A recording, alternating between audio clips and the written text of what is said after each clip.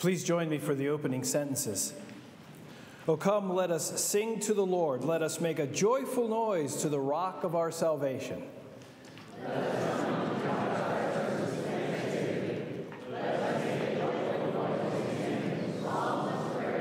O come, let us worship and bow down. Let us kneel before the Lord our Maker.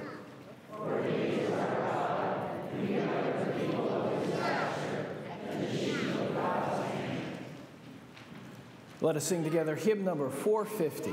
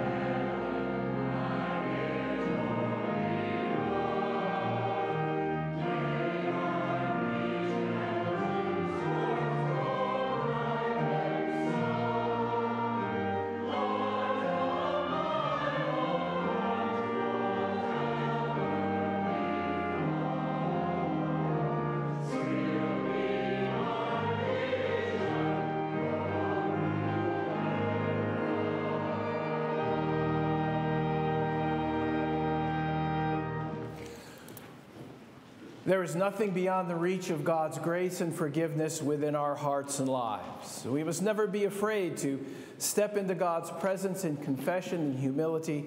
God welcomes our approach. And so, knowing that, together let us pray the prayer of confession. Let us pray.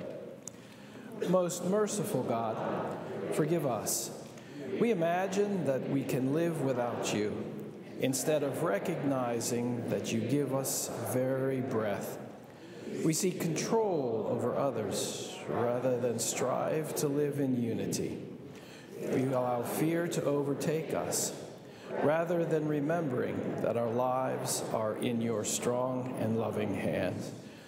Us to you in steadfast love, Lord God, and shape us into the likeness of your Son, Jesus Christ in whose name we pray. Amen. Let us continue our confession silently and individually.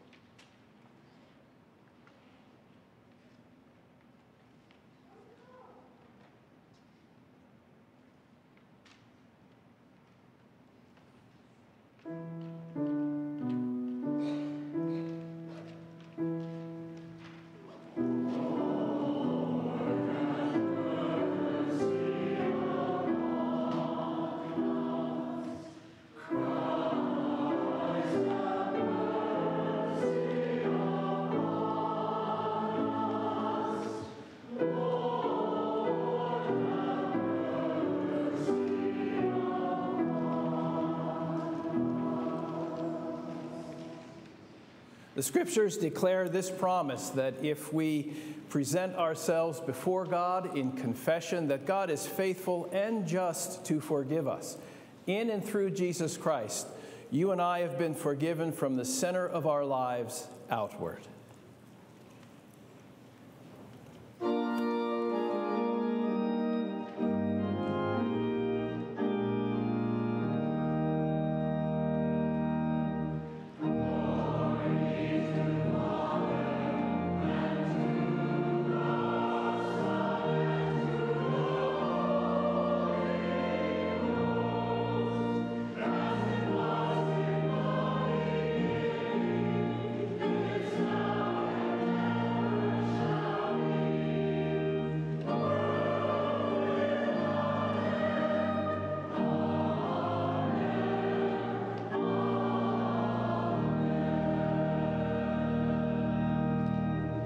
Please be seated.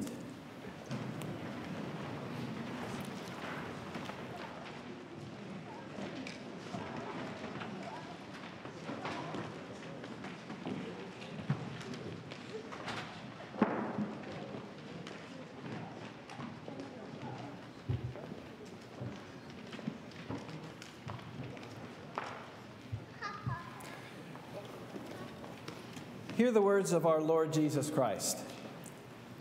All authority in heaven and on earth has been given to me. Go therefore and make disciples of all nations, baptizing them in the name of the Father, and of the Son, and of the Holy Spirit, and teaching them to obey everything that I have commanded you.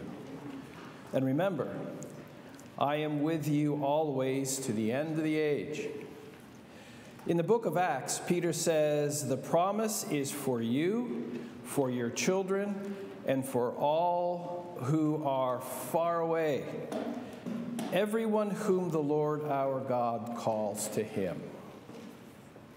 In baptism, God claims us and seals us to show that we belong to God. God frees us from sin and death by water and the Holy Spirit, and we are made members of His church, the body of Christ joined to Christ's ministry. If anyone wants to know more about baptism, please talk to one of the pastors. On behalf of, se- of the session, I present Joy Mansa Ocher, daughter of Rebecca Aintree and Peter Conto Ocher, to receive the sacrament of baptism. Do you desire that Joy be baptized? If so, say, We do. We do. Relying on God's grace, do you promise to live the Christian faith and to teach that faith to joy? If so, say, I do. I do. Please stand if you are able.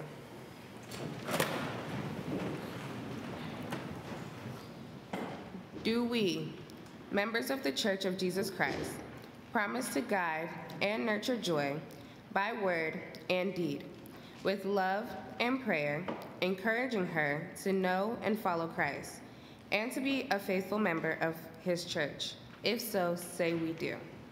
We do. Please be seated. Peter and Jackie, I now ask you to reaffirm your faith by answering these questions. Trusting in the gracious mercy of God, do you turn from the ways of sin and renounce evil and its power in the world? If so, please answer, I do. I do. Who is your Lord and Savior? Jesus Christ, Lord and Savior. Will you be Christ's faithful disciple, obeying his word and showing his love? If so, please say, I will with God's help. I will with God's help. Amen.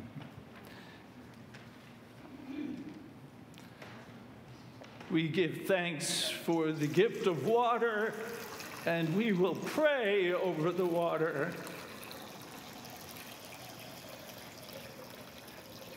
And I want to mention that in the Presbyterian Church of Ghana, before the day of baptism is the naming ceremony. And so we had the naming ceremony yesterday, and it was beautiful. And that's when we learned of Joy's middle name. Let us pray. We give you thanks, eternal God, for you nourish and sustain all living things by the gift of water. In the time of Noah, you destroyed evil by the waters of the flood, giving righteousness a new beginning. We thank you, O God, for the water of baptism. In it, we are buried with Christ in his death. From it, we are raised to share in his resurrection. Through it, we are reborn by the power of the Holy Spirit. Send your spirit to move over this water, that it may be a fountain of deliverance and rebirth. Wash away the sin of all who are cleansed by it, raise them to new life, and graft them to the body of Christ. Pour out your Holy Spirit upon joy, that she may have power to do your will and continue forever in the risen life of Christ. Amen. Amen.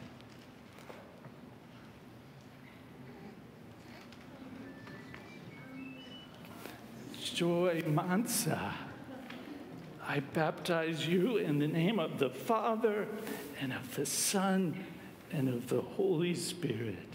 Joy Mansa, you have been sealed by the Holy Spirit and marked as Christ's own forever. Amen. Amen. Let us worship and let us give thanks and let us welcome the newest child of the covenant, Joy Mansa.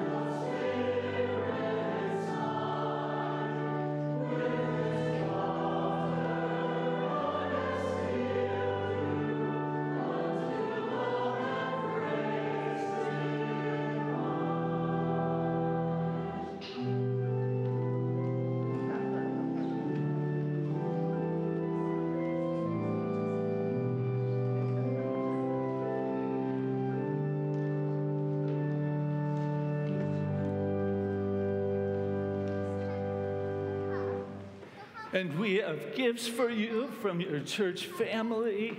And we give thanks for Caleb and Ohenoa, such a wonderful big sister and big brother.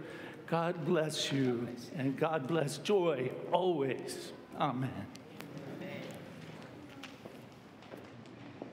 And now, would the children come forward for the time with the children? Come right on up here. Good morning. Okay. You can sit wherever it's comfortable.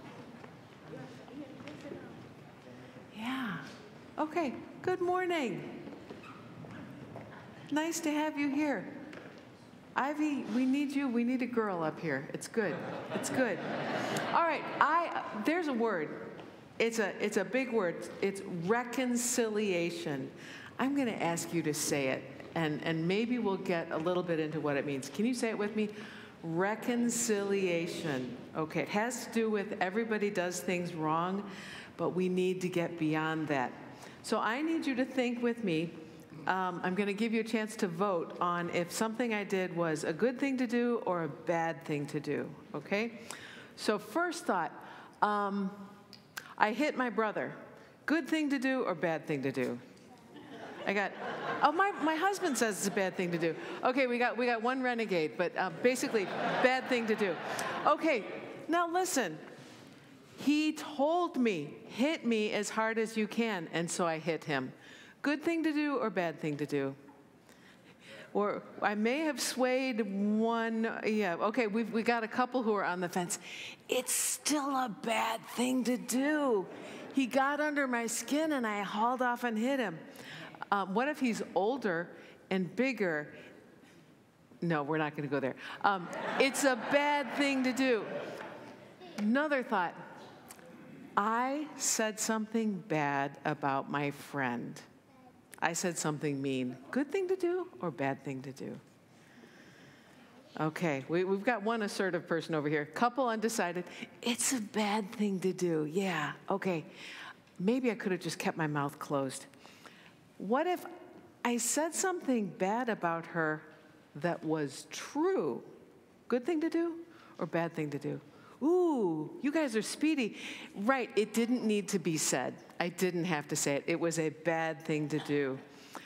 Um, what if the next day I went up to my friend and I said, I'm sorry, I didn't need to say that? Good thing to do or bad thing to do? We got some contrarians here. Most, most, mostly, most are on script. Yeah, it, it was a good thing to do. It took a little bit of, of nerve to say, I was wrong. I was mean and I didn't have to be mean. How do you think that worked on our friendship? Friendship is over or friendship is going back into place? Okay, one says, yeah, friendship, friendship, I got a this. So that means the friendship needs a little bit of time to get better. How can I make that friendship back into a friendship? What, what can we do to make that better? Hmm. Sometimes you just keep trying. Sometimes you do something together, you, you get something fun to play together with, and then you start to have good times together and the good memories help to wipe out the bad memory. That's part of this crazy word, reconciliation. So I want you to say the word again reconciliation. Okay, it means making things better. Now, the only reason we have any hope at reconciling a friendship is because God forgives us.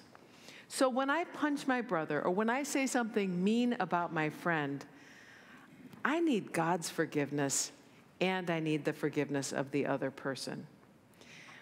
Presbyterians know that we need God's forgiveness a whole lot of the time. So every time we come to church on Sunday, there's a prayer of confession. And in smaller words, the prayer of confession means, I am sorry, God, I made mistakes. And God loves us God loves us like a father or a mother, and God wants to forgive us. Because of Jesus Christ, we get forgiveness when we ask for it. So, you all, when you go out into the into your neighborhood or during the school year when you go back to school, you are people who get to do reconciliation. You are on the side of rebuilding friendships and making relationships good. God wants you to be part of Jesus' work in the world. Let's say a prayer. Gracious God, thank you that you forgive us. We need your forgiveness every day. Thank you that you can give us eyes to see when we have made mistakes. And you give us courage to say, I am sorry. I was wrong. Send us out as people who belong to you, who renew friendships. We pray in Jesus' name. Amen. Thank you for your attention.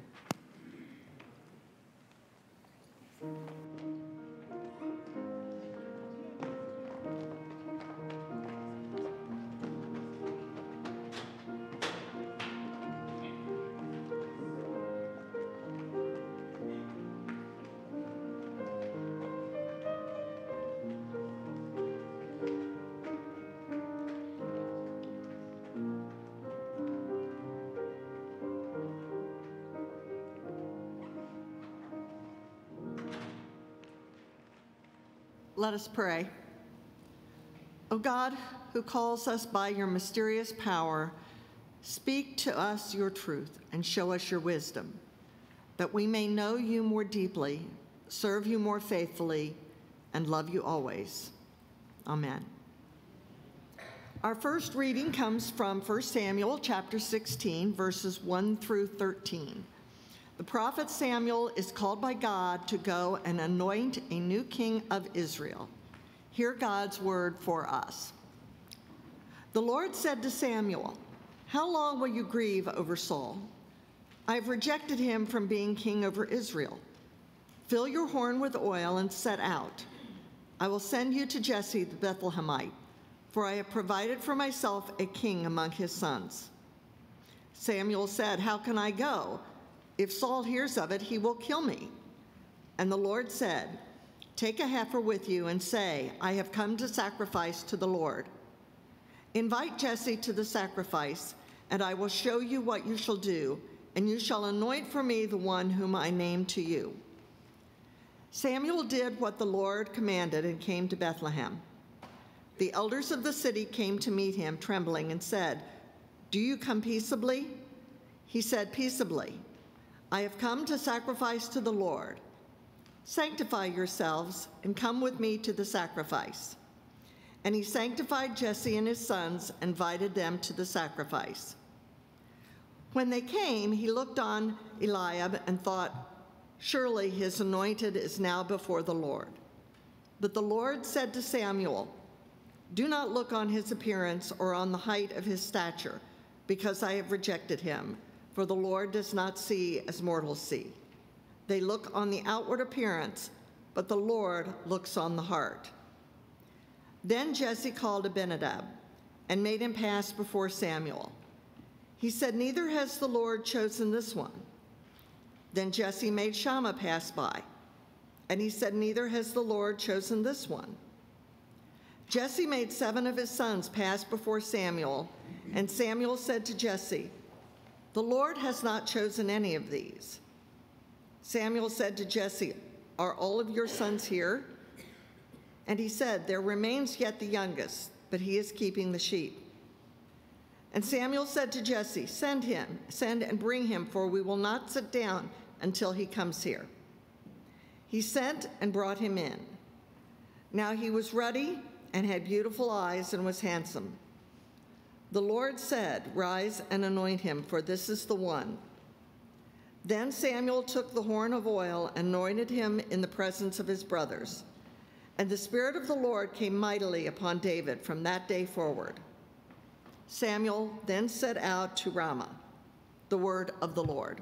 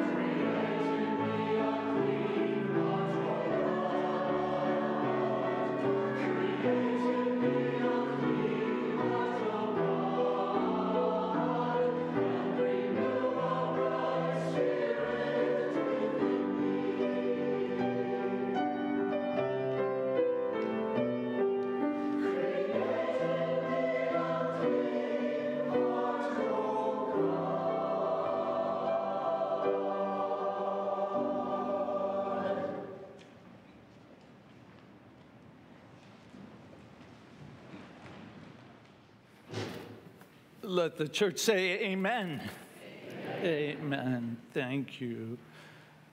Our next reading comes from Paul's second letter to the Corinthians, chapter 5, verses 16 to 21. Listen for what the Spirit is saying to the church. From now on, therefore, we regard no one from a human point of view, even though we once knew Christ from a human point of view. We no longer know him in that way. So if anyone is in Christ, there is a new creation. Everything old has passed away. Look, new things have come into being. All this is from God, who reconciled us to himself through Christ and has given us the ministry of reconciliation. That is, in Christ, God was reconciling the world to himself, not counting their trespasses against them, and entrusting the message of reconciliation to us. So we are ambassadors for Christ, since God is making his appeal through us. We entreat you on behalf of Christ, be reconciled to God.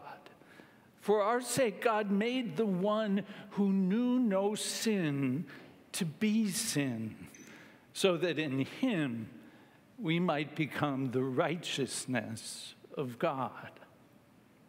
The word of the Lord. Thanks be to God.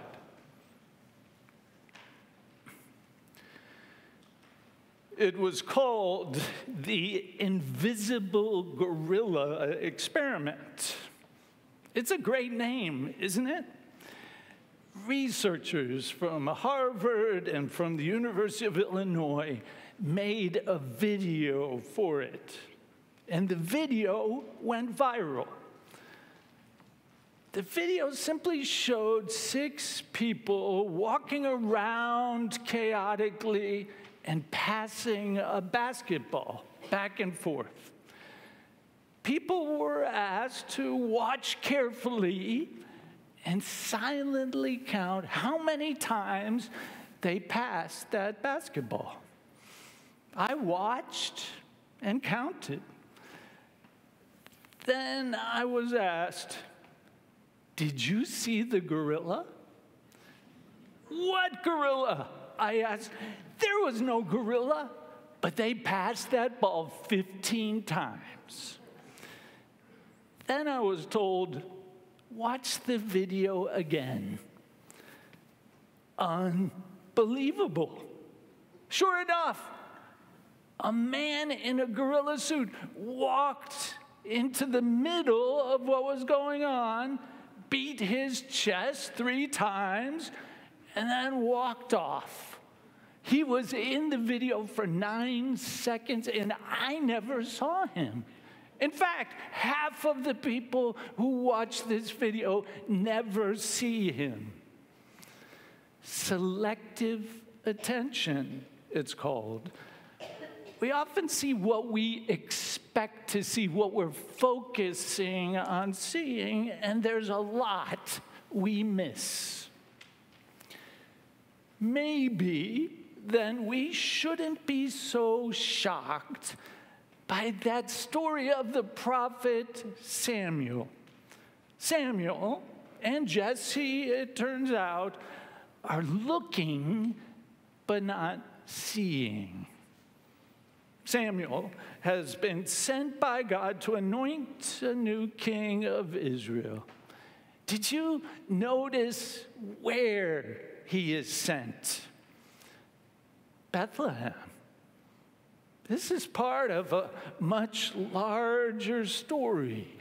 It includes Ruth from last Sunday, faithful choices that Ruth and Samuel and others make lead to the birth of the Messiah, Jesus.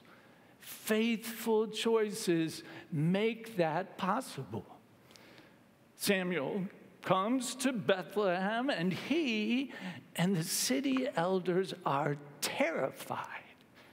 If Saul, the current king, finds out what's happening here, they could all be killed. But Samuel does as God instructed. He invites the elders and Jesse and Jesse's sons to worship. Now comes the hard part. Which one is the son that God has chosen? Jesse sends the first, the eldest of his seven sons, to pass before Samuel. And Samuel looks and sees a tall, strong, handsome young man, and he's convinced this is the one. This is the man God has chosen to be king. But Samuel's wrong. God says to him, The Lord does not see as mortals see. They look on the outward appearance, but the Lord looks on the heart. Seven times, Samuel looks and thinks, This has got to be the one. And seven times, God says, No. Finally, Samuel asks Jesse, Are these all your sons? And one translation puts Jesse's response this way Well, there's the runt, but he's out tending the sheep. The runt. Jesse just can't see it. And Samuel can't see it either until they're forced by the process of elimination. God has chosen the runt. Samuel and Jesse have been so focused on the wrong things, on outward appearance, the basketball passes, if you will. They've missed seeing the heart, the character, the faith, the gorilla. They've been looking but not seeing. The Lord does not see as we see.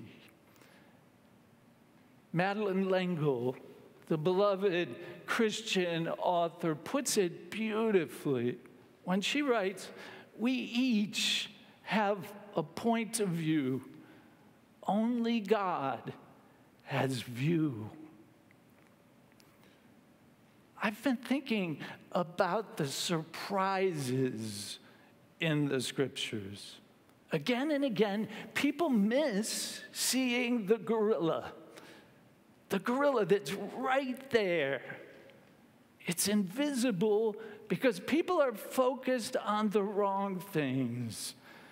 These are stories of God seeing, God noticing, God surprising everyone by choosing the runt. Think of Jacob and Joseph and Jeremiah and David, runts, small ones who seem too young to even notice. But God notices and God chooses. Think of Moses, who tried to turn down his call from God to lead because he wasn't a good speaker. But God chooses and uses Moses. Moses reminds the people of Israel near the end of his life that they too are a surprise. Moses says to them, It was not because you were more numerous than any other people that the Lord set his heart on you and chose you. For you are the fewest of all peoples. Of course, the surprises don't stop there. I think of those disciples Jesus chose fishermen, tax collectors. If they had been the best and the brightest, they would have been disciples already. A rabbi would have chosen them and been training them. But Jesus chose them and loved them. Jesus saw something in them that others didn't see. Jesus sees the gifts of a Samaritan woman at a well. A woman who has had five husbands, she's an outcast to her community. But Jesus sees her and loves her, and she becomes an evangelist, pointing people to Jesus. And then there's Zacchaeus. Jesus surprises everyone, including the tax collector Zacchaeus himself, by choosing to come to his home and honor him. And Zacchaeus becomes a new man, a generous, joyful child of God in the process. And perhaps the biggest shocker of all is that Jesus calls Paul a man who has been hunting down and killing followers of Jesus. Paul becomes a follower of Jesus himself and an extraordinary one at that. That's God's grace at work, isn't it? It doesn't end with the many examples in the Bible. God chooses you. God sees you sees the great potential in you, the gifts in you. What's more, that changes you. It changes the way you see yourself and the way you see others. By God's grace, you begin to see with God's eyes. I'll never forget the story of a teenager who wanted to talk to a pastor after worship. The young man was haunted by the suffering in the world and wondered where was God in all of the tragedies. But the pastor didn't really see that young man, didn't notice and take time to talk about the hard questions the pastor said, Steve, you're too young to understand. And Steve walked away from church and never came back. Maybe you've heard of Steve. His last name was Jobs. Steve Jobs, the founder of Apple.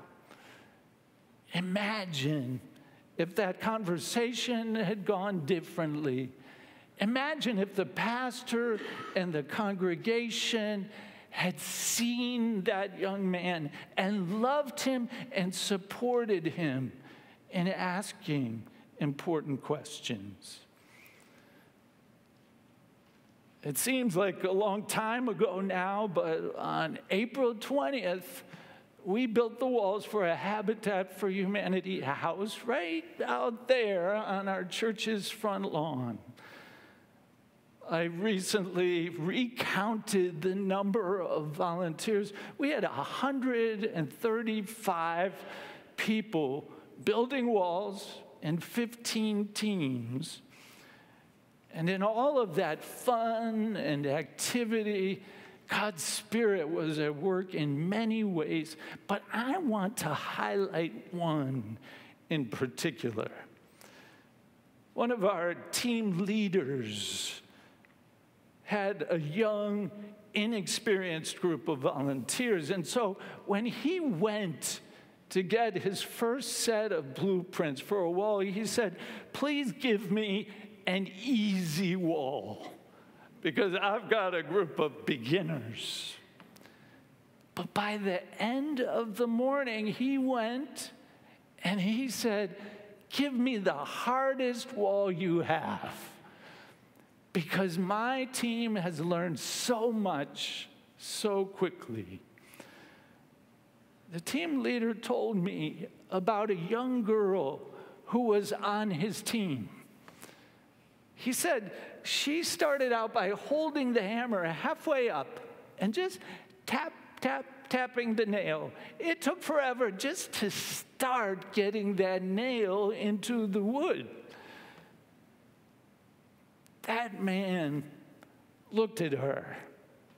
And he didn't just look, he saw her.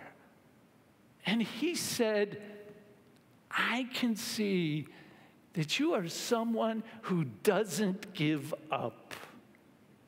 You have a wonderful gift. And she beamed.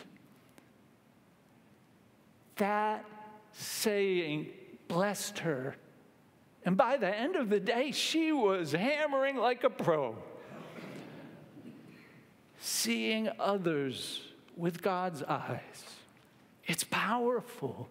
It opens doors, it unlocks gifts, it blesses you and blesses others. The Apostle Paul writes, From now on, therefore, we regard no one from a human point of view. If anyone is in Christ, there is a new creation. The old life is gone, a new life has begun. Paul knows from personal experience, seeing with God's eyes changes you and changes others. I'm reminded of a young girl who was starting a new mission outreach ministry. And she could tell people looked at her and thought, she's too little. But that girl looked everyone in the eye and then said, Don't worry, I'm much bigger on the inside. Paul goes on to remind us, as Presbyterian pastor and author Eugene Peterson puts it, God put the world square with himself through the Messiah giving the world a fresh start by offering forgiveness of sins. God has given us the task of telling everyone what God is doing. We're Christ's representatives. God uses us. On this Father's Day, I've been thinking about an old movie it's called Field of Dreams. Have you seen it? I watched it and I watched the special features, and, and I was surprised to see it was interviewing Major League Baseball players. And they were talking about their dads.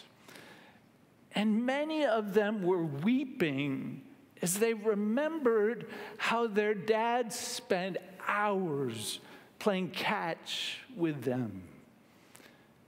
God used that time. Those dads made the time and took the time. And God used those dads to help those growing children know that they were seen that they were worth that time and attention, that they were loved, that they mattered. I don't know how your father sees you or saw you, but I do know how your heavenly father sees you. God says through the prophet Isaiah, Fear not, for I have redeemed you. I have called you by name. You are mine. May you see yourself that way with gifts that others haven't seen and maybe you have not yet seen. And may you do the prayerful work to see others that way too, because we all are bigger on the inside. Thanks be to God. Amen.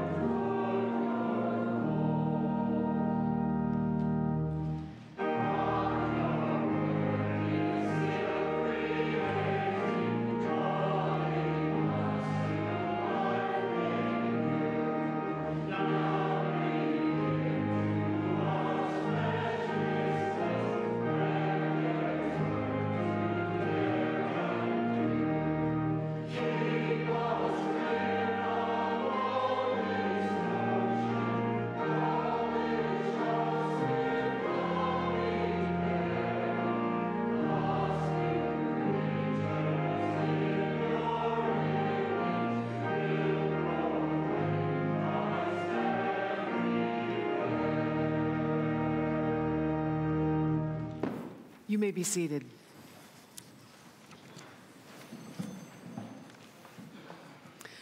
This morning, we- we gather together many, many prayers, um, some joys and some concerns.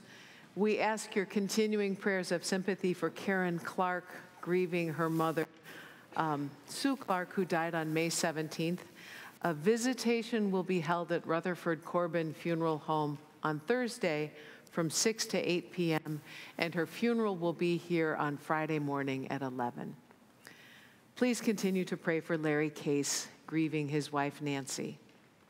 We ask God's healing for Rick Rasberg, Christina Brun Horrigan, and Bob Steele. We celebrate June anniversaries, June brides, June um, anniversaries. Those who are 50 years or longer are Colleen and Dan Foley, Dave and Nancy Wilson, Karen and Arnie Ishizuka, Betsy and Mark Seneff, and Diane and Dick Schock will be celebrating their 59th. And we have a less than 24 hour anniversary for Sarah Aldinger and Adam Vicari, who were married here yesterday. Let us pray. God of grace and love, thank you for bringing us to worship this morning. Thank you for opening your word to us and enfolding us in the presence of brothers and sisters in faith. Thank you for the gift of this day and the countless blessings we take for granted. Thank you for loving us with a father's love. Thank you for the fathers who have blessed us. And thank you for men who step in when fathers are not available. Thank you for all who love the next generation, who teach, who show gentle strength and enduring love. Thank you for tenderness when we need it and a challenge when we are heading the wrong way. Holy God, we pray that you would wrap this world in your love. We pray for peace even where it seems impossible. We pray for embattled nations. We pray for constructive conversations in all levels of government, local and state and national and international.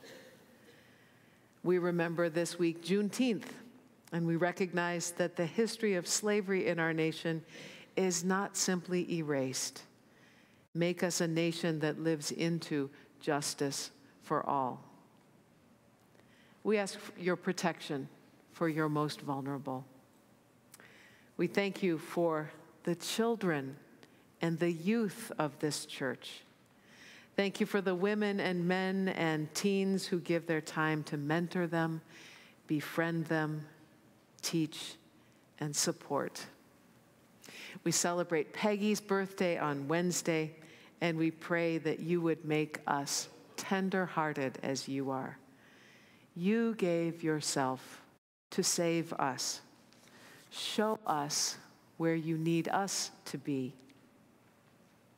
Thank you for hearing us. Thank you for making the most of our efforts to love, love serve you. Hear us now as we join with all who follow Christ, praying together as our Savior taught us. Our Father, who art in heaven, hallowed be thy name. Thy kingdom come, thy will be done, on earth as it is in heaven. Give us this day our daily bread, and forgive us our debts as we forgive our debtors. And lead us not into temptation, but deliver us from evil. For thine is the kingdom, and the power, and the glory forever. Amen. Would the ushers come forward? God has poured into our lives grace upon grace. Let us make our offerings of thanks and praise. Let us present our tithes and offerings.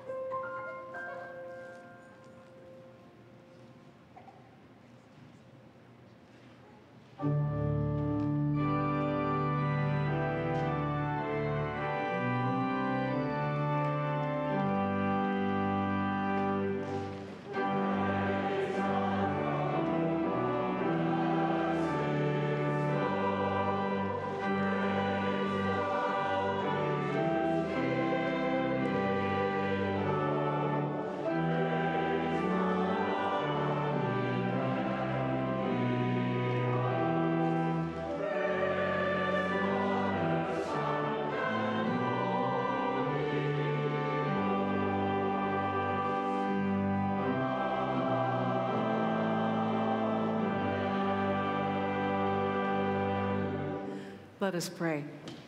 Gracious God, bless these gifts that are in the offering plates, that they might give glory to you. Bless the lives that we live this week, that we too might speak your praise. We pray in Jesus' name. Amen.